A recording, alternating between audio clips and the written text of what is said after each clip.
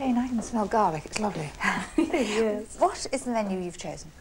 Well, tonight we're going to have uh, very simple tomato soup, not out of a tin, not out of a tin of tomato soup, but out of a tin of tomatoes. Mm -hmm. Then we're going to have um, mussels stuffed with garlic butter, which is snail butter, without the snails. And then we're going to follow that with a French cake, which I'm very fond of, called um, uh, Pithiviers. Pithiviers is the name of the town where it's first made. It sounds absolutely lovely. and I know the soup's already on the stove, so I'll just get it.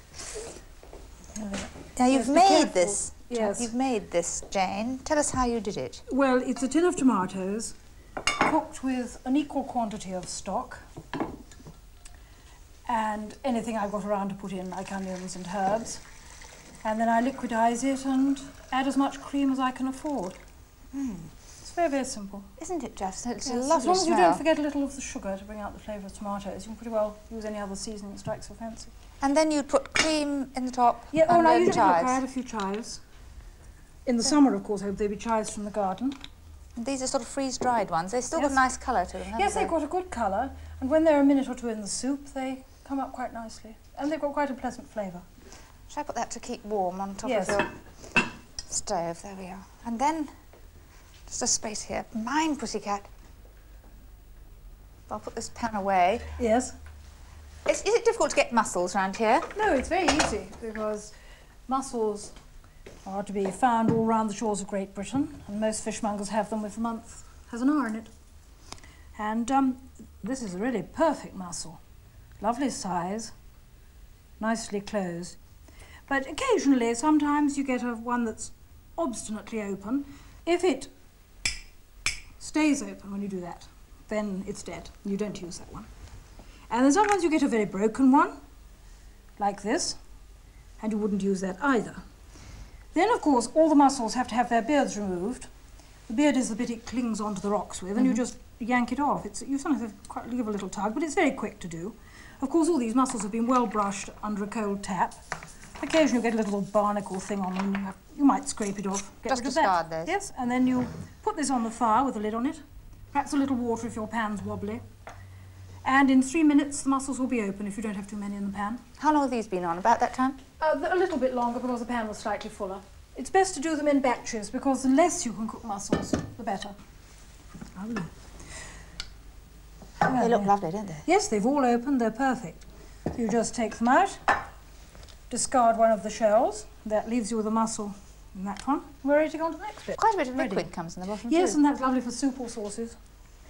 Now, instead of having a special plate, as they do in France for oysters, or snails, or anything like that, I use bread because the buttery juices flow over into the bread and it's lovely to eat afterwards. But you have to make little holes so that the shells don't wobble. Nobody's going to get an awful lot of mussels out of this. this You one. could use an ordinary cottage loaf or something like that. Oh, yes, of course. Or you could use an oblong loaf. Or... Are you using a special cutter? no, it's a little tiny scone cutter from sort of Petit Four set, and it was round.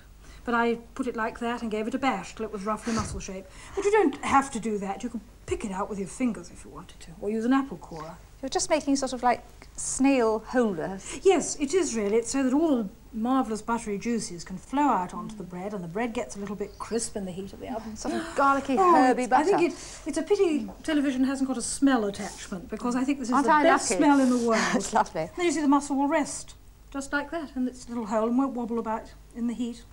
And garlic butter on top. Oh yes, that's marvellous. You want to be very generous with the garlic butter because you've got the bread underneath, so it doesn't matter if it flows over. The smell is It's terrific. marvellous. How do you make your garlic butter? Well, it's very easy, especially if you've got a food processor of any sort. You just take half a pound of butter and um, you cut it up into little bits. Then you add very finely chopped shallots, peel them first, of course, great big handful of parsley, and then the point, really, of the butter is to use really beautiful, fine, large garlic cloves like that, or double up the amount of garlic. I've just got three cloves. Now, how long do you cook these for? Oh, they don't take very long. The point really is the temperature doesn't matter so much, except it should be hot, but they must end up bubbling and slightly brown on top. You can always fake it by browning them off under the grill.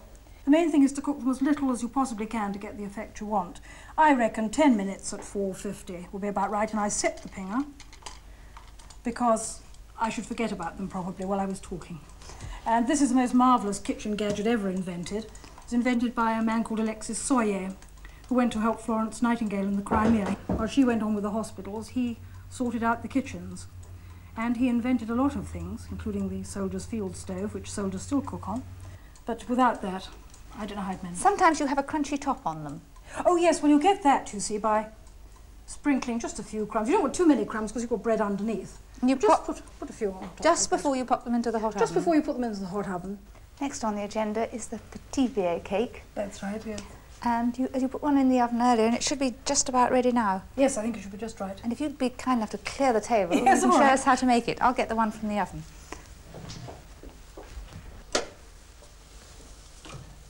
Oh, it looks beautiful. Really dark golden brown. It smells almondy.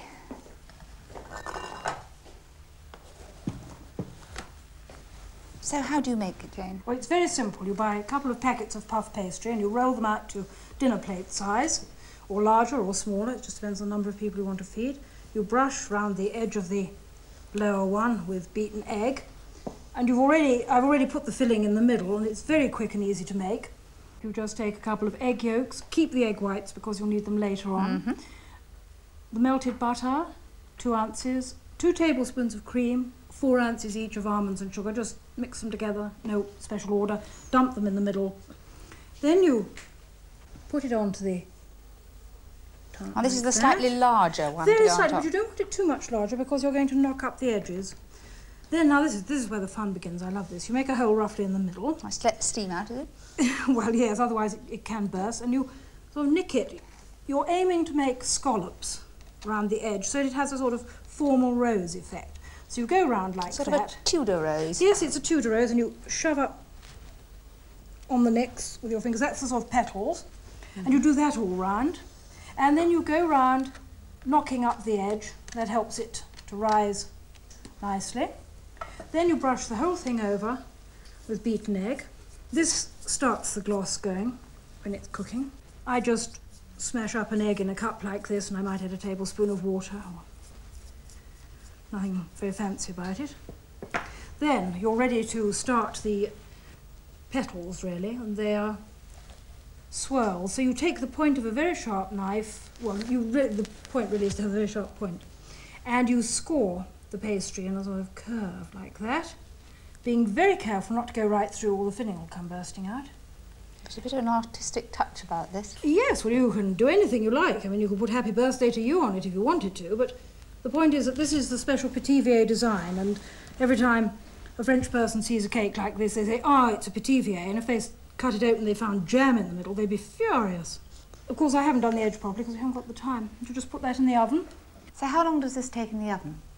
About 20 minutes at mark 8, 450, until it's risen and golden brown, but go entirely by the appearance rather than the time, because you've got a big Pithiviers, it might take a little bit longer. And when it looks really ready and just right to eat, you take it out, but you haven't finished. Mm-hmm. And you put a big sheet of newspaper on the table, put the Pithiviers down on top, and very quickly dredge icing sugar over it. Not too much, but just a nice sanding. With a little sieve and shake Yes, it. And then you put it back in the oven, and you keep you can keep the door keep opening the door to check on it, because you take it out again when it's got a nice dark brown glazy look, but you don't want to burn it. So that's the grand finale of our meal. Yeah, that's right. Yes, it is. Your tomato so- soup was surprisingly good. I'm now looking forward to trying these mussels, but I'm not quite sure how to tackle them. Well, they're quite easy. You pick up your fork, and you pick up the shell, and then you lift out the mussel. This smell's lovely. Or if you're Geoffrey, and you just tip the No, tip them the... mussels out onto the bread, Mm. and take up your knife and eat the whole thing